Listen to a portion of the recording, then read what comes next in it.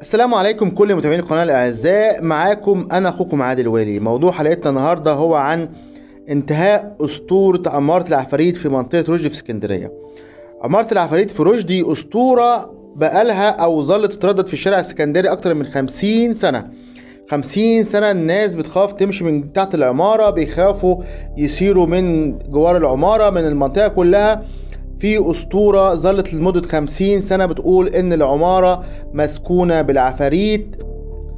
الأسطورة كانت بتقول كمان إن كل اللي كان بيدخل العمارة يا إما بيتحرق أو بيترمى من فوق أو بيواجه العفاريت لوحده. زي ما أنتم شايفين دي ده آه، العمارة قبل التجديد والتطوير.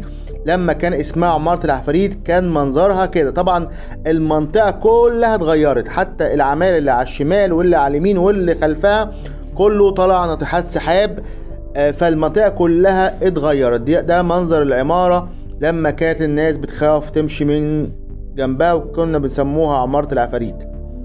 فين عمارة العفاريت؟ في اسكندرية في رشدي. فين؟ في رشدي هي ما بين شارع أبو قير وشارع أحمد شوقي على الطرماي باب آه، العمارة بيفتح في شارع الإسماعيلية. طبعا آه، هي بجوار محطة ترماي محمد محفوظ ورشدي ومصطفى كامل.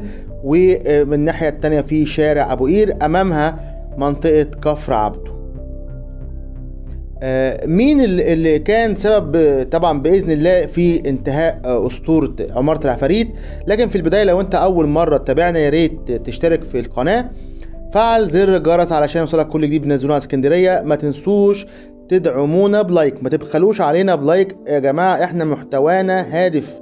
مش زي قنوات ال- الهاشتاج بيشتك اللي بتجيب 200 و 300 ألف like في في اليوم فيا ريت ما تبخلوش علينا ب like.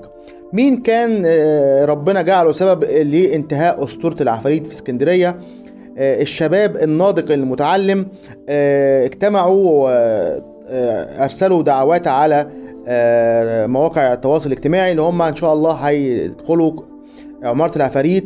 فدخلوا بإذن الله ومعاهم مصاحفهم وقبل ما الشرطة آه، تيجي تطلعهم طبعا ده ال- الباب الجديد باب عمارة العفاريت الجديد أو عمارة رشدي من على شارع الإسماعيلية هو شارع جانبي ما بين شارع بورسعيد وأحمد شوقي على الطرماي آه قبل الشرطة بيجي يطلعهم كانوا آه دخلوا آه تسلقوا آه الفيلا فيلا سباهي اللي بجوار العمارة وطلعوا فوجئوا إنه العمارة على الطوبة الحمراء مش حتى متمحرة آه لسه ما فيهاش أي حاجة بتدل اللي كان في حد سكن العمارة. لا فيها سباكة لا فيها نجارة لا فيها حمامات لا فيها سراير مش متشطبة. ده بيدل إن مفيش حد سكن العمارة لا عرايس ولا عرسان. الموضوع كله الواضح إن أصحاب أو ملاك آه، العمارة كان في آه، إن في الموضوع أو كان في شيء الله أعلم إيه هو. وكان من مصلحتهم اللي هم يوهموا كل الناس إن العمارة دي فيها عمارة عفاريت. دليل على كده إن كان في جراج زمان شغال تحتها والجراج كان شغال 24 ساعة. ولكن فين العقل؟ إحنا كنا ممكن نسأله نفسنا يعني هو العفاريت بتسيب الجراج يشتغل واللي يطلع فوق فيه عفاريت؟ الله أعلم هو كان في سر فيها والحمد لله السر انتهى. وبعد كده لما الشباب آه، دخلوا ومفيش آه، حاجة في شركة مقاولات آه، تولت العمارة بالتطوير والتجديد زي ما أنتم شايفين كده وأصبحت تحفة معمارية حديثة.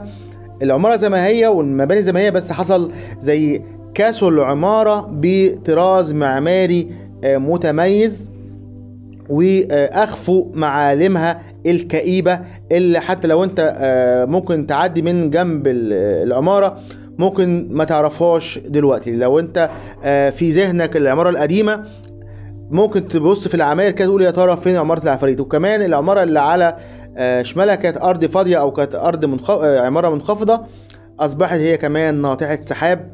فالدنيا اتغيرت خالص في آه، شارع أبو قير في منطقة رشدي. ده ما يمنعش برضه اللي اللي وفانا في إيصال ولو معلومة آه، واحدة صحيحة. أنا عارف إن في ناس ممكن تهاجمني تقول لأ آه، ده كان فيه وكان فيه وكان فيه. كل القصص دي كلها حكايات وأساطير من أنفسنا من أهلنا. أبويا وأمي وستي وسيدي كل هم اللي آه، نسجوا الأساطير وإحنا صدقناها وتورثناها ولكن لابد من إعمال العقل و تحكم للعلم. أشوفكم إن شاء الله في فيديوهات قادمة لكن ما تبخلوش علينا بلايك من أسفل الفيديو. لو أنت أول مرة تتابعنا يا ريت تشترك في القناة.